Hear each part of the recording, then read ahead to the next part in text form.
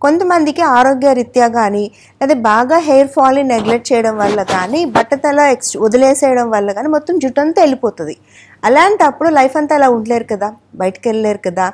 వాళ్ళకే hair systems అనేవి. Hair సిస్టమ్స్లో రెండు రకాలు ఉంటాయండి. ఒకటి అతికించేది ఒకటి తీసి పగిలి డిటాచబుల్ అని ఉంటుంది. అతికించేదానికి ఇరవై ఐదు రోజులకు ఒక్కసారి మీరు మెయింటెనెన్స్ చేసుకోవాలి. అంటే ఒకసారి మా దగ్గరికి వస్తే దాన్ని అంతా నీట్గా చేసి మళ్ళీ పెడతాం. జస్ట్ సెలూన్కి వెళ్ళి వచ్చినట్టు అదే డిటాచబుల్గా అయితే కొద్దిగా ఎక్కువ రోజులు రెండు నెలలకి మూడు నెలలకి ఒకసారి వచ్చి మా దగ్గర మెయింటైన్ చేయించుకుంటే మేము మళ్ళీ నీట్గా చేసి క్లీన్గా చేసి ఇస్తాం. ఇందులో బెనిఫిటింగ్ పాయింట్స్ ఏంటంటే ఒకటి న్యాచురల్ కనపడుతుంది. ఎందుకంటే న్యాచురల్ హెయిర్ కాబట్టి. రెండు జుట్టు లేకుండా బాగుండరు ఎవరు బై డిఫాల్ట్ అది అందరికీ తెలిసిన విషయమే. సడన్గా మన ఎపీరియన్స్లోని మన లైఫ్లోని కాన్ఫిడెన్స్లోని చేంజెస్ వస్తాయి.